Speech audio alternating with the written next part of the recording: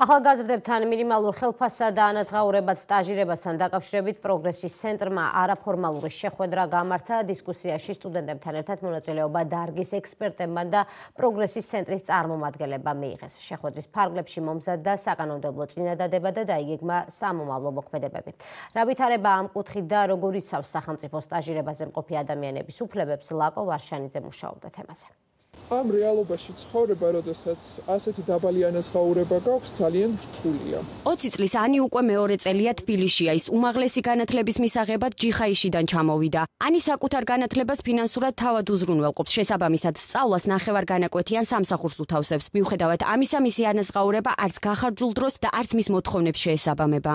ჩემი ხელფასი რაც არის დღეს, მხოლოდ და მხოლოდ ყოფნის უნივერსიტეტის თანხას გადასახაც უფრო სწორად და ყოფნის ბინის ქირას ესე რომ ვთქვათ.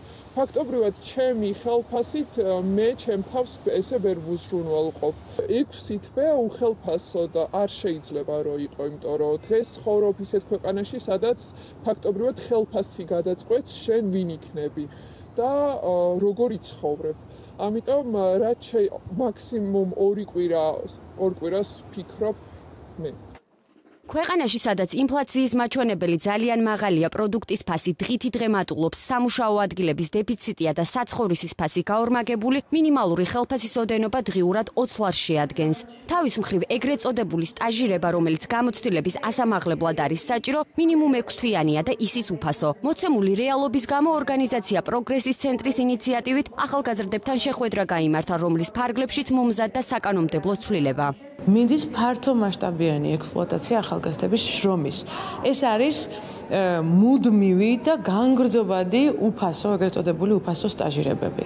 თელ ევროპაში ეს თემა დარეგულირდა, სტაჟირება შეიძლება იყოს უფასო, მაგრამ განსაზღვრული ვადით.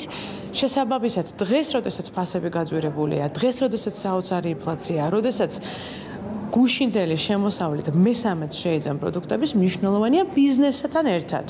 სამოქალაქო საზოგადოებასთან ერთად ვიმსჯელოთ, როგორ უნდა აიწიოს ანაზღაურება. ჩვენ თუ არ ვიბრძოლეთ თანდათან ამ პანდემიური ფონიდან გამოსვლის პერიოდში ამ საკითხების დასარეგულირებლად და თან პარალელურად, როდესაც ქვეყანა დგას ევროკავშირში გაწევრიანების გზაზე და ჩვენ ასოცირების ხელშეკრულებით ძალიან ბევრი ვალდებულება გვაქვს ნაკისრი შრომითი მიმართულებით და თანაბარი თანასწორუფლებიანი საქმიანობის შესანარჩუნებლად აღსადგენად სამუშაო პირო გარემოში, ამიტომ ნიშნულოვანია ჩვენი ახალგაზრდების ჩართულობა, იმიტომ რომ ჰარმონიზება მოხდეს საერთაშორისო შრომით სტანდარტებთან საქართველოსში და სახელმწიფოებრივი კანონმდებლობის. ორგანიზაციის მიერ მომზადებულ საკანონმდებლო ცვლილებას скеპტიკურად აფასებენ დარგის ექსპერტები. მიუხედავად იმისა, რომ შრომის ანაზღაურება მნიშვნელოვანია განსაკუთრებით ახალგაზრდების мотиваციისათვის, მათი განმარტებით თუ ანაზღაურება გაიზრდება, ავტომატურად შემცირდება ვაკანტური ადგილების რაოდენობაც და გაიზრდება დამსაქმებლის მოთხოვნილებები. მისი გაზრდა 10%-ით ან შემოღება იწევს 2-3%-ით უკვე ახალგაზრდებში ეს გულისხმობა 16-დან 25 წლამდე, ასე ვთქვათ, ასაკის მოსახლეობაში უმუშევრობის დას 2-3%-ით.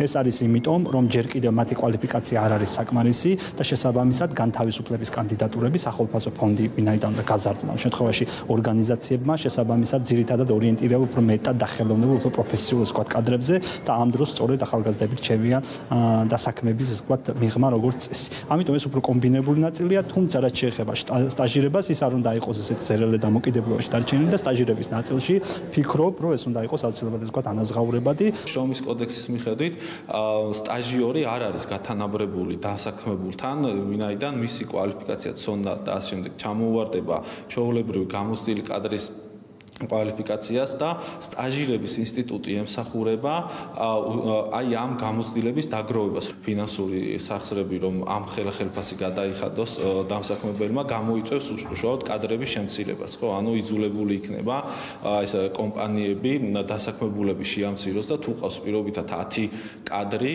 რომელსაც უხდის 500 ლარს შემდგომ ყავდეს 7 კადრი რომელსაც გადაუხდის უფრო გაზრდილ ხელფასს შედეგის მომცემი იქნება თუ არა ორგანიზაცია პროგრესის ცენტრის ინიციატივით მომზადებული საკანონმდებლო ცვლილება ჯერჯერობით უცნობია. თუმცა ფაქტია, რომ ანაზღაურების სიმცირისა და უფასო სტაჟირების ხანგრძლივობის გამო საქართველოს ახალგაზრდები მასიურად ტოვებენ.